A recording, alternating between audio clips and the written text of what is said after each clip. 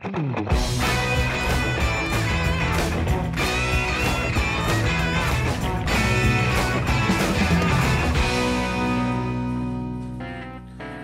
guys, this is Piet van der Velde from Ere Research. Today I'm gonna talk to you about tire and rim sizing and how, how they affect each other and how they work together. Uh, there's been a lot of questions from our Facebook and Instagram and direct messages about this. So I thought, uh, you know, maybe it's best to make a little video of this to explain it to everybody who would like to know. Um, and if you have any questions, don't forget to ask them in the question box below.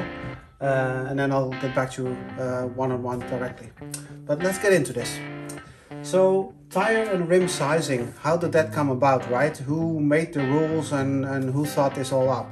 It's actually the ETRTO. ETRTO is the organization in Europe that uh, governs or say or sets the rules on how the manufacturers in cars, bicycles, motorcycles, airplanes if they have any wheels with tires on them, how they should uh, be uh, made and which sizing they should uh, refer to and work with. Uh, it's called the European Tire and Rim Technology Organization. That's what ETRTO stands for and we as a tire company and as a wheel slash rim company also have to follow these rules. Uh, just like any other uh, wheel tire brand in the market. But uh, there's been a lot of confusion lately about some of these things, and I'd like to uh, like to help you understand how they work. So, uh, when you make a wheel or a tire purchase, you can uh, you can take notice and think, hey, maybe I have to check before I buy. Um, so it works a little bit like this. Um, there's a few things that are important in this uh, uh, thing, and that is the rim, the rim width, the tire, and the tire width because uh, rims um, for road racing, for gravel racing, or for mountain biking have different widths, right? For different uh, width tires. Uh, but where does it stop and where does it end? That's important to know. Um, for instance, most commonly uh, in the market today for road racing wheels are 19 millimeter uh, rims. And 19 millimeter rims, it's measured like this.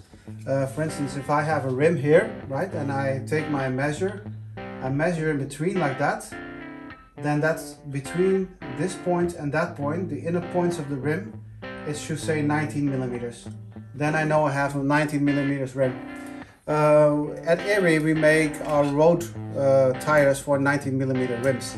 So if you take an Ere 20, 24, 26 or 28 millimeter tire, the range is 25 to 28. That's what ETRTO says. So if you use these tires from Ere Research, then they will fit a 19C wheel and they will also measure like they are designed to be on that 19 millimeter wheel. Meaning that if I put a 26 millimeter tire like this on my 19C inner rim or in my rim profile like that, right? This will be 19 millimeters and this will be 26. Now there's a little variable of pressure. You can imagine if you put uh, five bars of pressure in a tire, a tire, you know, doesn't expand so much and maybe the size could be, you know, for 26 tire it could be 25.5 millimeters, for instance. When you jack up the pressure between uh, to six or seven or maybe eight bar, then the tire expands because of all the pressure, the air pressure inside, and it becomes 26 or 26.4 millimeters, something like that. So also the pressure, uh, right, the expanding pressure of the air inside the, the tire uh, affects the size of the tire a little bit, of course. But that's logic. If you blow up a balloon, it gets bigger and smaller. A tire is a balloon, so that's what it does.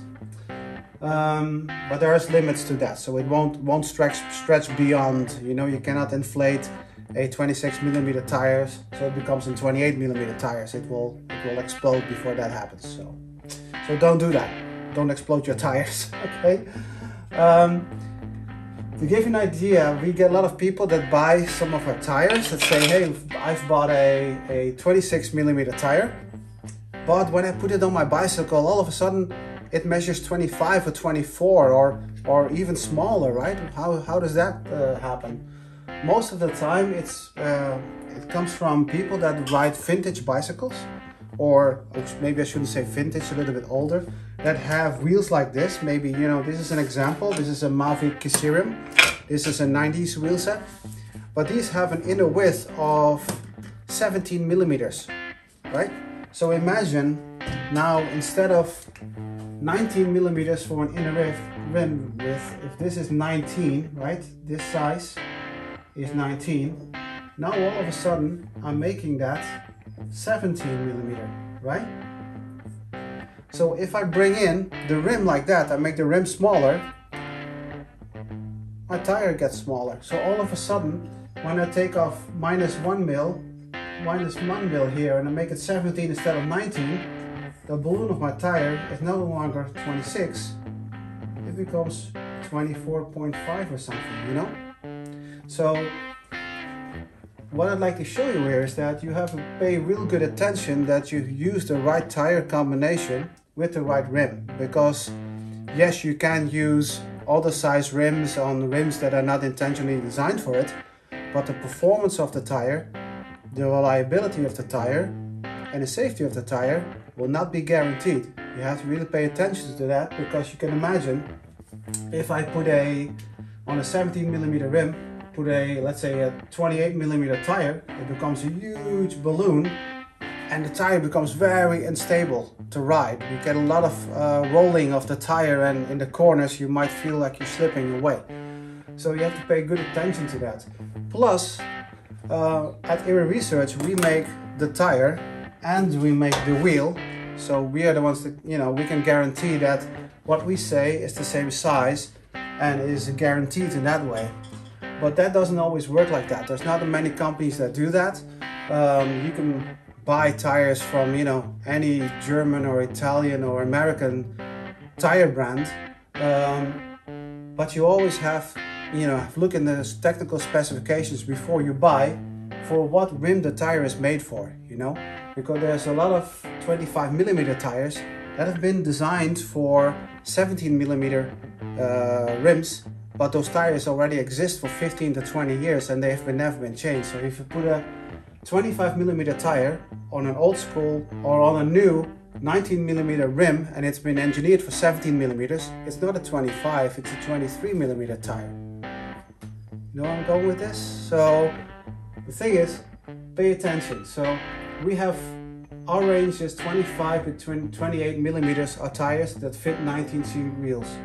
Um, we also have 21C gravel wheels, but we use tires that are from 29 to 34 millimeters for that. Okay, so if you have a pair of wheels at home and you are thinking about purchasing a new set of tires and you're thinking about 28 millimeter tires, measure what the inner width of your rim is. Right? Let's say I have you have a fairly new pair of wheels, but you could have 17, you could have 19, or you could have even 21 in your wheel set. For that reason, it's important to know that if you want to buy 28 millimeter tires, check what the tire is made for. Is that tire made for the pair of wheels that you have in your bicycle? Then you expect to ride a 28 millimeter tire on your rim? Make sure it matches because it's not always the case. Alright? Uh, a lot of tire brands, including ourselves, we will recommend uh, if you go to our website which which wheel to use which side wheel or rim size to use with our tires. Uh, many other brands do that as well. Um, every brand should do and the other brand, way around uh, the wheel makers should do as, uh, it as well but it's not always a given and it's not common knowledge. So that's why I'm taking the opportunity to explain this a little bit to you. So you know people are a little bit more cautious when they're buying rims or buying tires or a combination of both. So I hope this helped you understand uh, the technology or the sizing technology between tires and rims a little bit more. And uh, if you still have more uh, questions, please put them down in the messages box and I'll answer them straight to you. Um, furthermore, thank you for watching and uh, have a good day to you. Cheers.